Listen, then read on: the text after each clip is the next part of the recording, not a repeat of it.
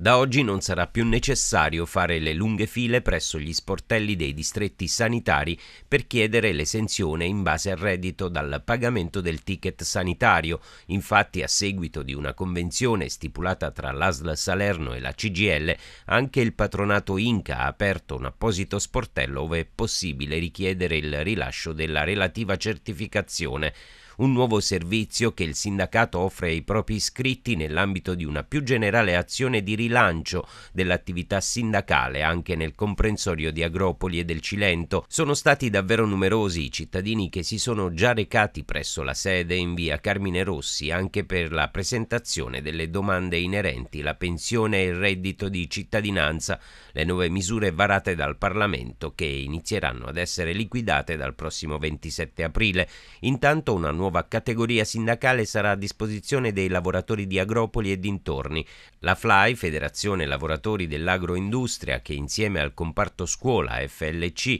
agli edili della Fillea e al patronato Inca, affiancherà i pensionati dello SPI nella conduzione e nella crescita della Camera del Lavoro. Ecco gli orari e i riferimenti presso la sede, tutti i giorni dalle ore 9.30 alle 12 e dalle 16.30 alle 19, INCA, Istituto Nazionale Confederale di Assistenza, il martedì dalle 9.30 alle 12, il giovedì dalle 17 alle 19, Fillea CGL mercoledì dalle 16.30 alle 19, FLC CGL giovedì dalle 16.30 alle 19, Fly CGL martedì dalle 9.30 alle 12, venerdì dalle 17 alle 19.